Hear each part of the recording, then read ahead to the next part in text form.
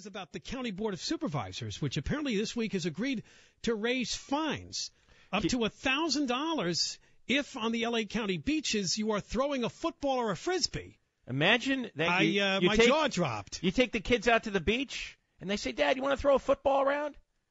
So you start throwing the football with your kid, and here come the police, the beach police.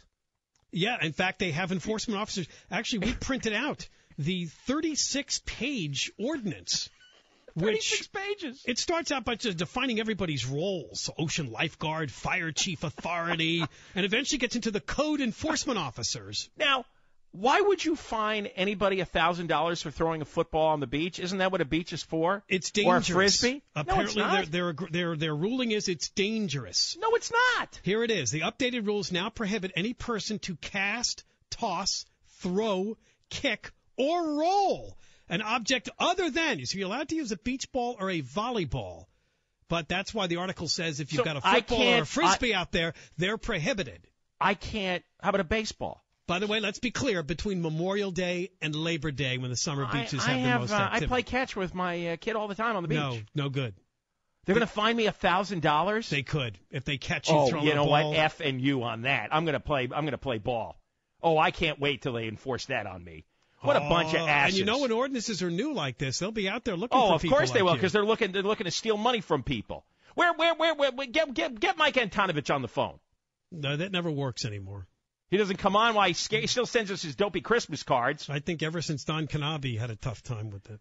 Yeah, well, because Mark. yeah, uh, because we caught Thomas him. Yeah, because we caught him. I don't we think caught him enabling Mark Ridley Thomas Yeah, spending a million dollars on his damn uh, office remodel. That's Since why. then, I don't think oh, we've had guys- a supervisor come on the show. Wait a second, a thousand dollars for throwing a football?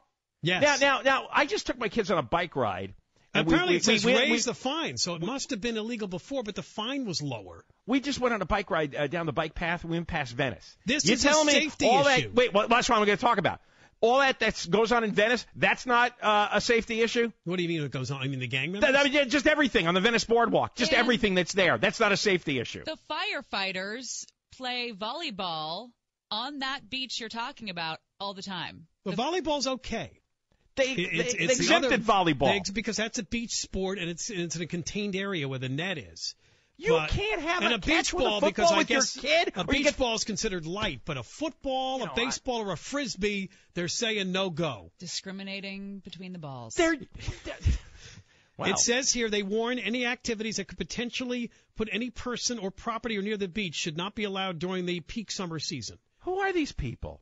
The board of This is what Supervisors. Zev Yaroslavsky does for a living? Are you ready for another one? And, and Fat Gloria Molina and Fat Zev and stupid Mark Ridley Thomas, this is what they do. Hole diggers, listen up. You cannot dig a hole deeper than 18 inches into the sand except for if you get permission for TV and film production. So kids digging holes that So are too deep. a guy deep. will come with a tape measure and measure your hole. if you're making a sandcastle, Correct. If it's deeper than 18 inches, you're in trouble. oh my god. No, they've lost it. They've really lost it with this one. My kids have done that a hundred times because they've buried themselves up to their uh, necks, like under the Oh, uh, under the sand. That's like the most fun thing to do as a kid at the beach. Now, oh, you there should be there should be a huge revolt. You've both heard about rescues that have had to happen because those things collapse on people who are down in those holes. Oh, who cares? This is a safety issue. and I will come and measure. Oh, I'm tell. Oh, people should start throwing sand at these beach. A guy's going to walk around with an 18 inch pole and stick it in your hole Yeah. and say, well, oh. Hey, I'm just saying. it's not the Miramonte School District. It's Come on. not. All right. Well, yeah, we'll try. All right, we'll try for Mike Antonovich. Oh, we should we should we should I have don't know. a, Maybe he voted no on this, but um, we should have a public protest. it said the board. We got to take we got to take a thousand listeners this Oh, summer out on the beach, footballs? start throwing footballs Oh, and digging that, holes. That would be really funny. create a big public riot. The KFI beach ball party. That's right. well, not public beach balls, but disobedience. every other ball. All right. When we come back, we'll check in with Eric.